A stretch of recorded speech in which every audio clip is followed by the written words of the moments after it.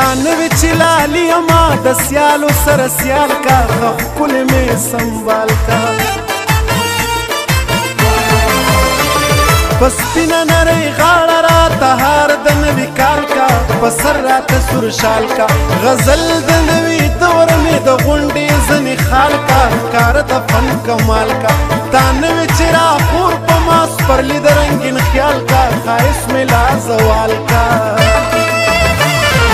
فکر د اسمان نه مې د حسن بدل راوړه تا نه وچ ګل راوړه زرغونو ارزوګانو لمې سوز د بلبل راوړه تا نه وچ ګل راوړه تا نه وچ ګل راوړه تا نه وچ ګل راوړه تا نه وچ ګل راوړه تا نه وچ ګل راوړه